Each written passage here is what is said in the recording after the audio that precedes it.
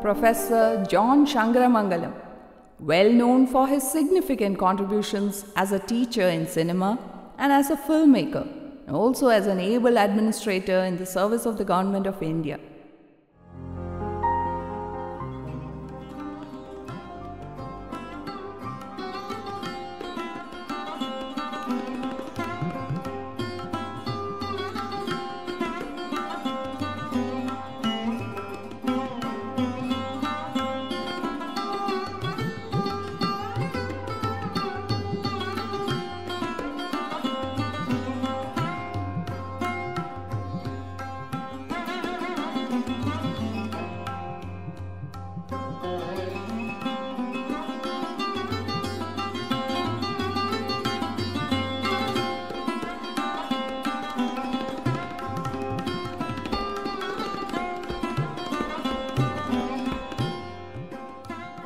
After having been educated at St. John's High School, Iraviperur, St. Berchmans College, Changanasheri, and also at Madras Christian College, at a very young age, he joined the Madras Christian College as a member of the faculty in 1955.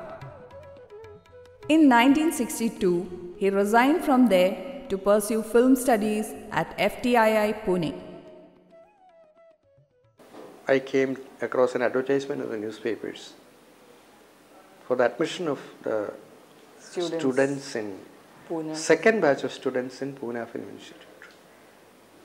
Applied, went for the written test, sat in the interview. Interview was held by a French uh, filmmaker, and the director of the institute was Jagat Murari. Then K. A. Abbas, Bimal Roy.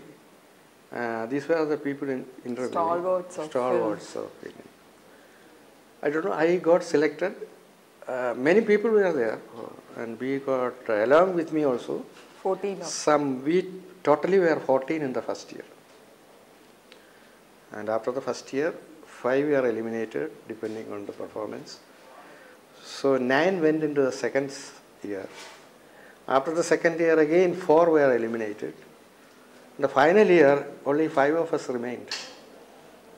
Along with me studied Adoor Gopalakrishnan. And then the third person was one Gupta from Punjab, one Murthy from Hyderabad, and one Misra from uh, Bihar. After having passed out from FTII with the most outstanding academic record in 1965, he was the first to make a feature film in Malayalam and was also the first from FTII to receive the President's Award. This was followed by two more President's Awards and four Kerala Awards.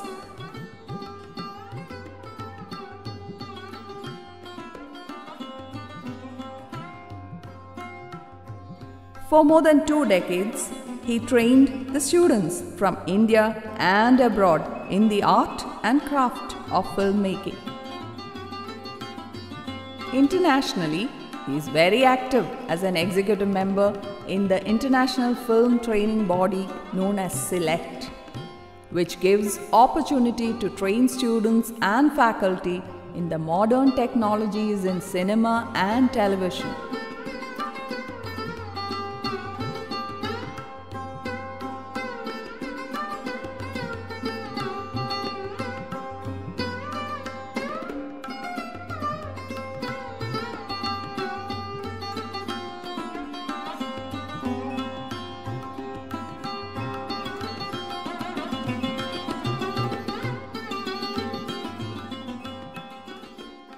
I have carried on filmmaking throughout my life. I carried on with the teaching, carried on with filmmaking, carried on with the work of administration. Of course, I didn't have a lean period like filmmakers, where many filmmakers did only cinema, only making films.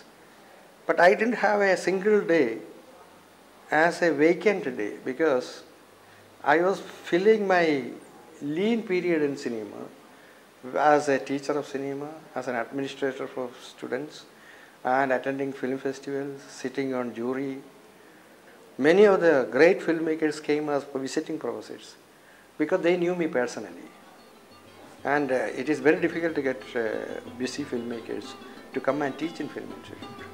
But though I could succeed, at least every year five or six outstanding filmmakers like Zanussi, Istvan Gal, and people like that, very renowned people. Even Kurosawa came to the institute. He was the chief consultant for many film and TV institutions and film studies, was official delegate and jury member, and chairman for many state, national, and international film festivals.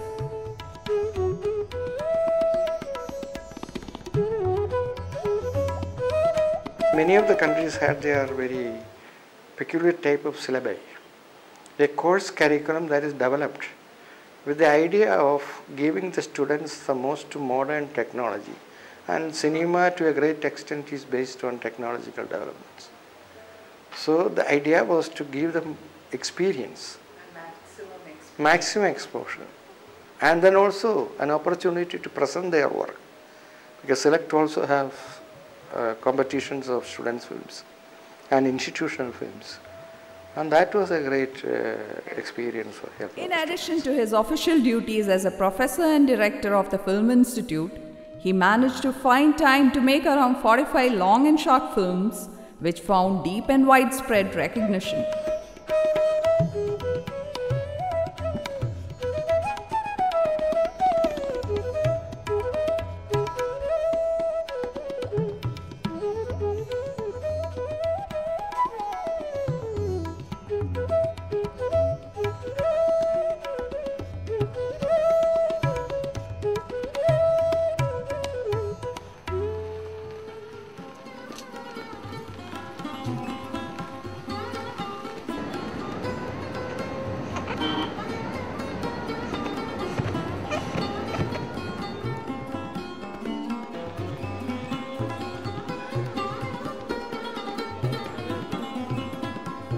At present, he is the principal of St. Joseph College of Communication, Changanasheri.